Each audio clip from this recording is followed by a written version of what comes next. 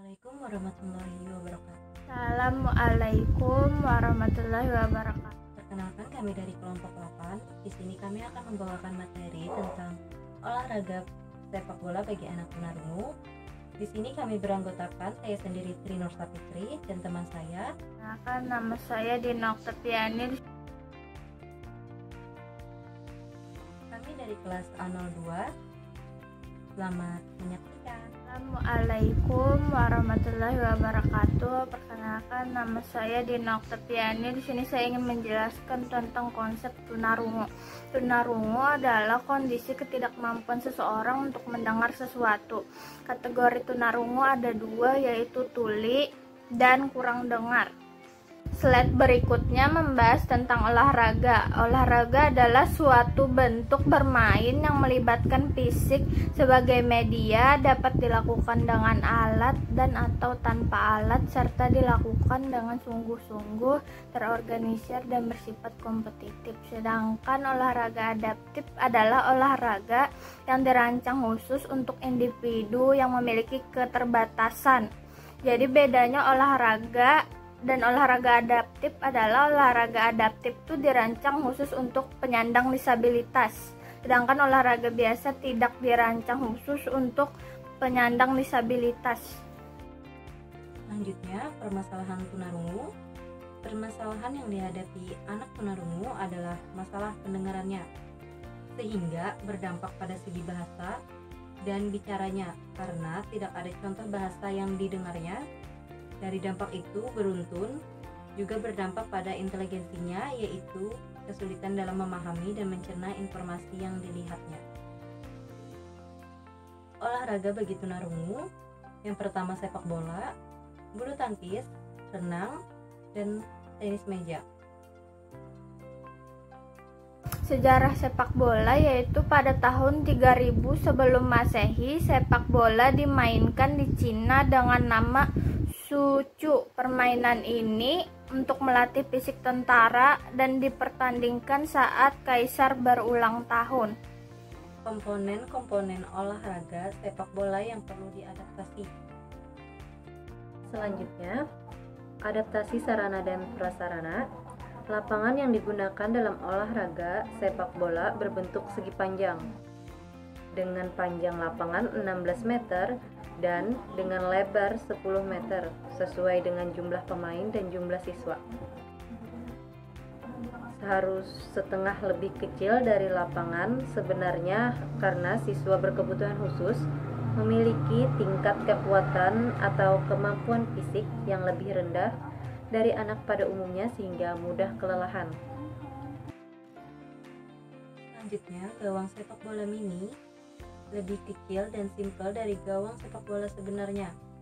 Karena gawang sepak bola mini sudah dimodifikasi menggunakan besi yang diletakkan di area lapangan sepak bola mini. Adaptasi waktu permainan sepak bola biasanya bermain tuh selama 60 menit sampai 90 menit. Tapi di sepak bola mini 15 menit di setiap babaknya jadi total 30 menit dalam satu kali permainan sepak bola mini.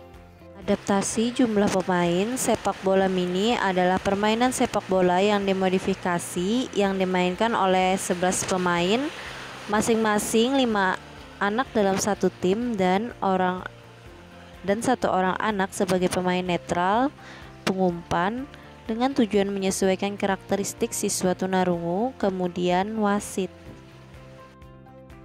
Adaptasi aturan main sepak bola mini meniadakan aturan bola keluar atau offside dan membebaskan pergantian pemain atas izin wasit selama pertandingan berlangsung. Komponen olahraga sepak bola yang tidak perlu diadaptasi. Yang per pertama yaitu perlengkapan pemain. Perlengkapan pemain sepak bola mini sama sepak bola pada umumnya sama saja yaitu kaos kaki sepatu baju bola deker kaki dan sarung tangan untuk penjaga gawang. Cara bermain tidak ada adaptasi yang harus menyesuaikan dengan keadaan anak dikarenakan tunarungu tidak terhambat baik dari segi fisik maupun segi inteligensi. Cara bermainnya sama saja dengan ditendang. Ini adalah contoh permainan sepak bola untuk anak tunarungu sama seperti anak pada umumnya.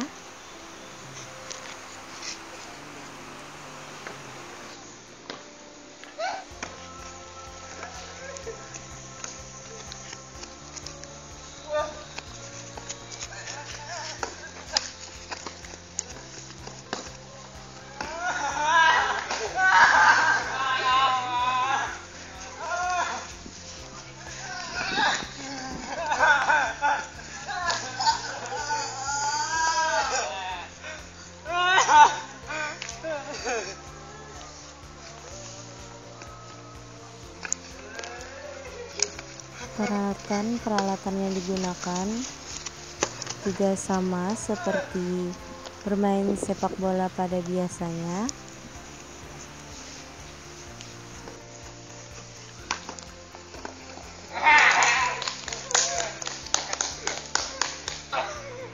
Sama saja di sini menggunakan lapangan yang lebih kecil dari lapangan yang sering digunakan pada permainan sepak bola.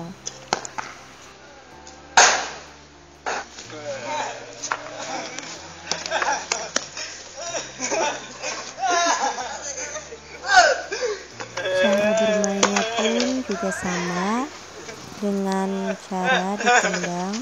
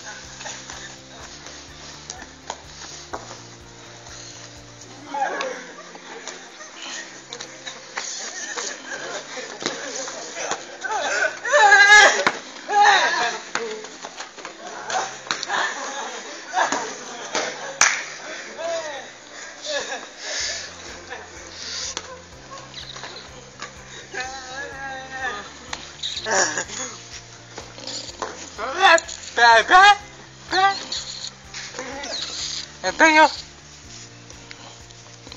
Hey.